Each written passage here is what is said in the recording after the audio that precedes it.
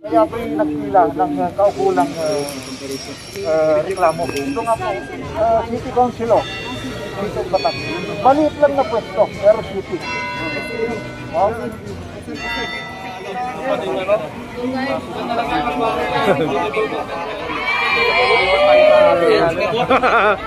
Kabukit lang yung malakas. Talaga ba?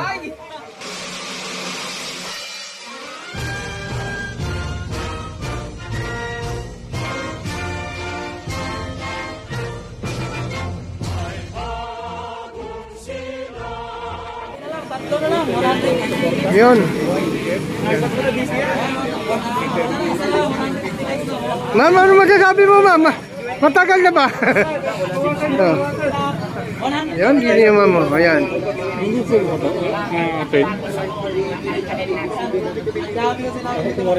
Ma'am, para malobat ka na ata ngayon, ma'am. ah. Hindi ba? Ayan, kita niyo si ma'am. ah. Nihintay talaga, ah, resulta.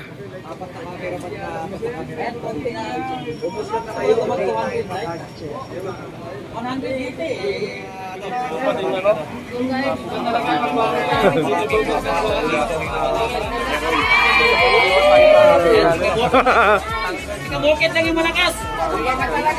Gulag! Boy, maayaw gid boy.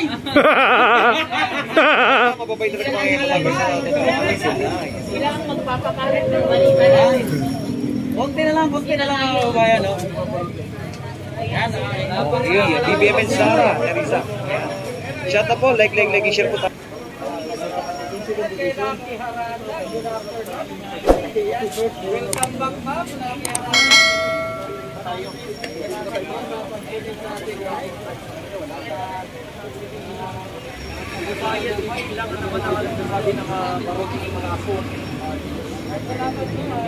Ay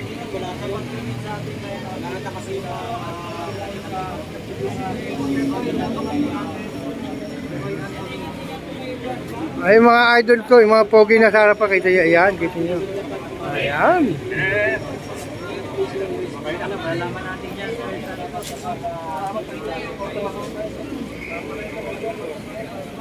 Ano pa?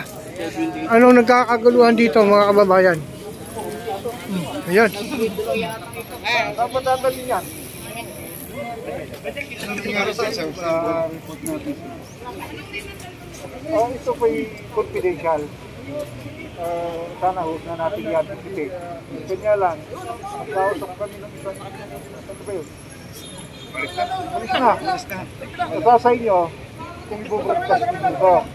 Pinilaan ko po yung isang election uh, officer ng City of Bataan gawa ng uh, discriminatory.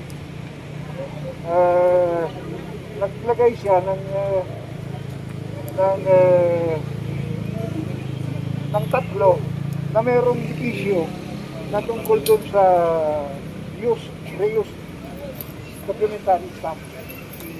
Okay? Kung may nakakaalam ho sa inyo yung ginawa niya, kayo na po ang maghusga. Uh, reuse na, obsolete, at saka outside of circulation. Ganun po yun. Kaya pinilaan ko po siya ng, uh, palagay ko, unang-unang complaint ito as against an election officer who is now sitting at the uh, city of Batak. Then, if uh, favor to the three other uh, candidates up against me, that is grossly unfair, discriminate, dis- discriminatory, and uh, malfeasance in the uh, function of her office. Kanya po, uh, yan po ay uh, sana mag, mabigyan siya ng disciplinary action. Totally, kaya ko, ano, dahil nakita ko yung emblem ng kasama ninyo, nagaya niya, no? BBN. Oo. Kaya ako lumapit. Kanya nakita niya ito. Itong, at any rate, nakapile na. I hope it will not uh, prejudice or damage the formula. Para saan po ba yung complaint ko as against an election officer? na nagbibig, nagbigay ko siya ng pabor doon sa tatlo. At ako, eh, inakusahan niya ako ng digital uh, signature. Meron akong sinabi na original, original uh, affix signature, and original uh, prescribed form. Dininay niya. Pagkatapos pinapalitan. Wala na po akong, uh, ano, dahil nga pandemic po tayo. Wala na po akong oras, lack of material time na mag-file po ulit. Pagkamat ganun po, ginawa niya, tumahimik na lang ako. Now, my uh, esteemed reputation is best, best merged. Kasi po, native po ako ng uh, City of Batak. Ganun pong nangyari. Kaya, kayo na po mag-husga dyan, taong bayan, kung tama po ang ginawa niya. Kasi, binabura niya yung tatlo. Na, i-explain niya sa harapan ko na ito'y nagdikit sila ng uh, documentary stamp na Reyes. Reyes, pagkatapos, pagkatapos, out of circulation. Kayo na po kung saan ninyo i-broadcast yan. I'm ready to face her anytime, anywhere in this country. In any forum. Kasi po, talagang uh, grabyado po ako.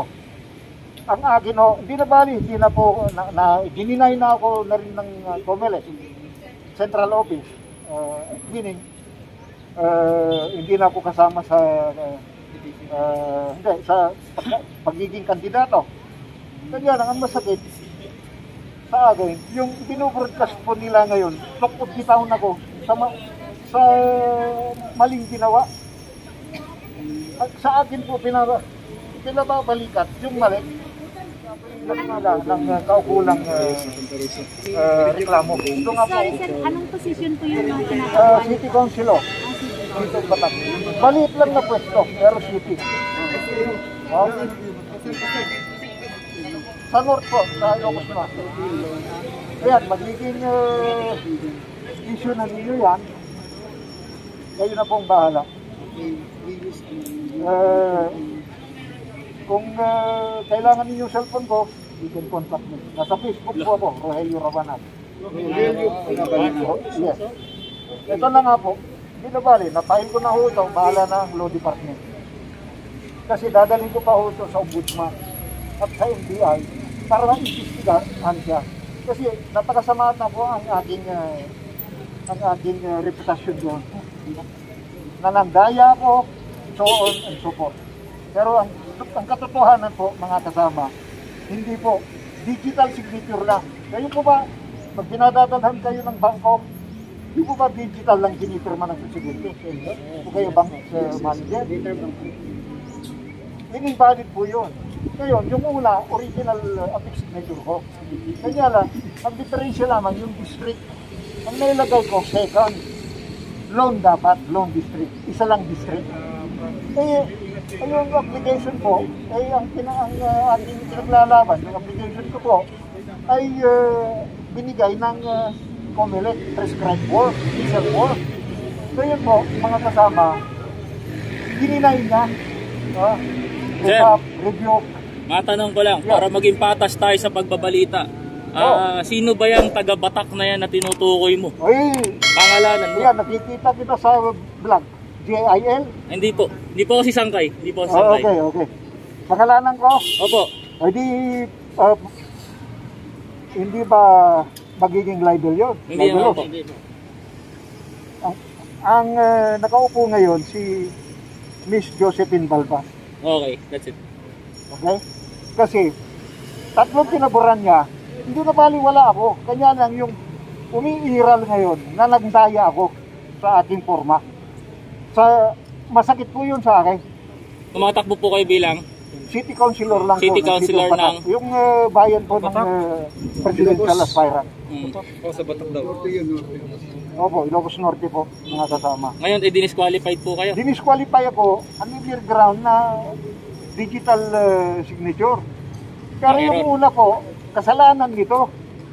Ito election officer na hindi pa niya, binura na lang yung ano, total nakatype naman, hindi naman po uh, naka-computerize eh.